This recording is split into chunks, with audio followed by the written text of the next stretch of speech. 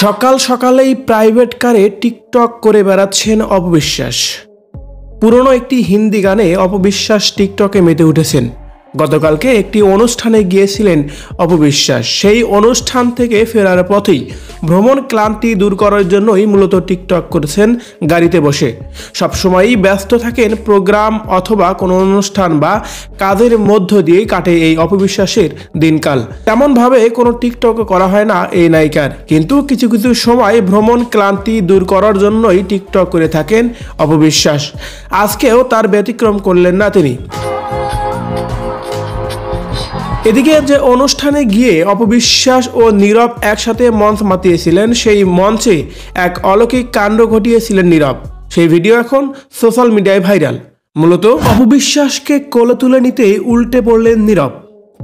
বিয়ান সাহ আপনার জন্য ঢাকা থেকে ডিজে আনছি। গানের তালে তালে মঞ্চ মাতাচ্ছিলেন ডালিউডের নায়িকা অপবিশ্বাস আর নায়ক নীরব।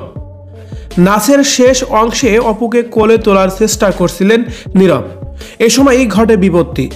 ধপাস করে উল্টে পড়ে যান দুজনেই। এতে অপ্রস্তুত হয়ে পড়েন উপস্থিত দর্শকরাও।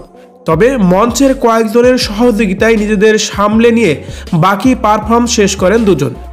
শনিবার সন্ধ্যায় মুন্সীগঞ্জের সিরাজদি খানের এই ঘটনাটি ঘটে। মুন্সীগঞ্জ বিক্রমপুর সমিতির পঁচাত্তর বছর পূর্তি উদযাপন উপলক্ষে সিরাজদি খানে একটি অভিজাত রিসোর্টে হয় এই অনুষ্ঠান। এদিকে নাচ শেষ করে সেই ভিডিও সামাজিক যোগাযোগ মাধ্যমে শেয়ার না করার অনুরোধ করেন অপবিশ্বাস। তিনি বলেন, বিনীতভাবে অনুরোধ করব, আপনারা আমার এই ভিডিও সোশ্যাল সাইটে শেয়ার দিয়েন না।